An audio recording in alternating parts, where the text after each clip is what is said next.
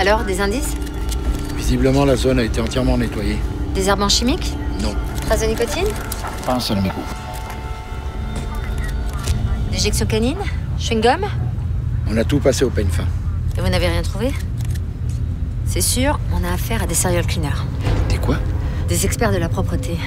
Et ici, c'est tout le monde.